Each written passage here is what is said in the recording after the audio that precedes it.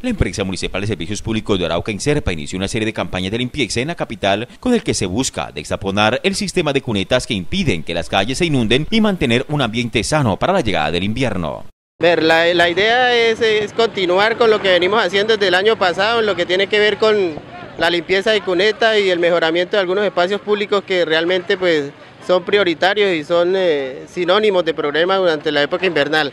La falta de cultura de la comunidad ha obligado a que la empresa asuma ese tipo de campañas agresivas, pues muchos de ellos vierten aguas de los lavados a las cunetas de la ciudad, en la parte céntrica, así como desechos que impiden el libre tránsito de las aguas. A ver, eh, precisamente en el lugar que nos eh, encontramos existe pues eh, un problema que tiene que ver con la aplicación del comparendo ambiental. Como vemos, pues existe un autolavado que está vertiendo las aguas de, de, del lavado de los vehículos a las cunetas y presenta un gran deterioro del sector en lo que tiene que ver con eh, acumulación de agua y estancamiento de aguas.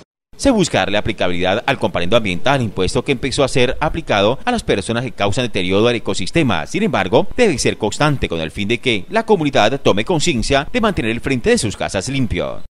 La orden del alcalde Luis Emilio Tobar es siempre estar atento a prestar un servicio, a contribuir con el mejoramiento de las condiciones de vida del pueblo araucano y desarrollar acciones que vayan en beneficio de toda la comunidad.